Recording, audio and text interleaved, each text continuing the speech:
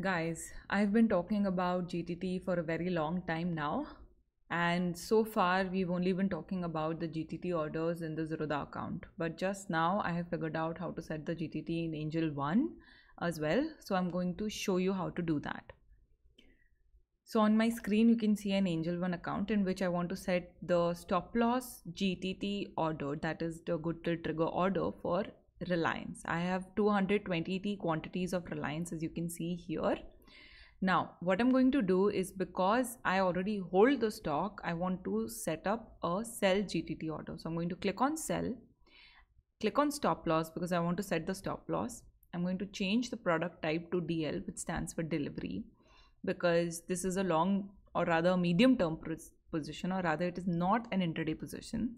So I select delivery the quantity has been automatically fed which is awesome. Now I need to set the trigger price. Basis my chart analysis I can see that I want to set the stop loss at say 2723 so I'm going to set my trigger price at 2723 which automatically inputs the stop loss limit price. Now remember you can also have market price as the stop loss but I wish to keep it at limit price and this limit price I want to be almost almost similar to my trigger price. So I'm going to set it at slightly few points lower than my trigger price. That is 2722.5 okay that's like 50 paisa lower. And all I have to do is click on place sell order. Let's see what happens I got, get a confirmation on my screen that the order has been placed and I need to check that now. So I'm going to go to orders go to GTT and this is where it should be if it has been set but I don't see it. Let's try again. Stop loss delivery 220 2723 and change this to 2722.5 and then place sell order. And that was rejected which makes sense. Um, okay so it did not go under gtt for some reason. In fact it came under open order.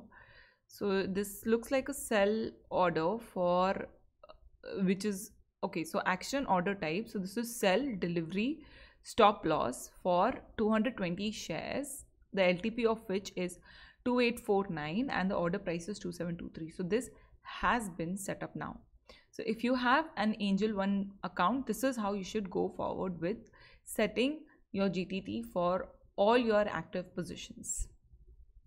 The advantage of setting a GTT for your holdings is that if the market starts to turn against you, then whatever unrealized profits you have will get protected. Your position will automatically get exited.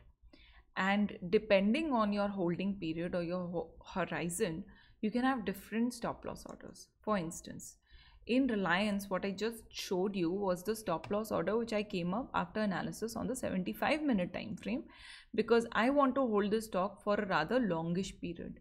My original target on this was around 2700 which has actually been achieved but I don't want to exit it just yet because there is strong momentum.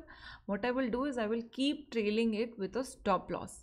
Now the stock is already making new highs and if this low of 2795 sustains and the stock is successful in breaking above 26 2861 that is when i will go forward and update my stop loss to the new low of 2 2795 maybe but until then i'm going to hold on to the stop loss at this level so managing your positions is actually the secret to ensuring that you make good profits consistently in your stock portfolio.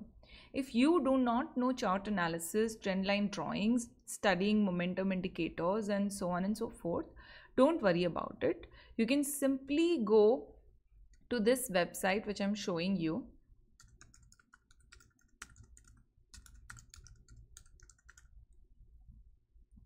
So this is the link that you have to open exp invest.in slash stock hyphen query. When you click on this link, you will be redirected to a, a Razorpay page where you have to enter your name, your email ID, your phone number and simply select the number of stocks which you would like this analysis for. If you have a portfolio of 12 stocks, you can simply select the bundle.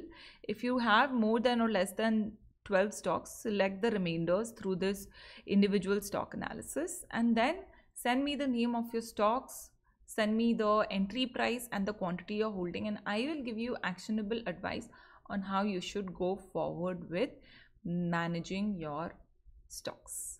Okay, so that's that for today. I hope you found this useful.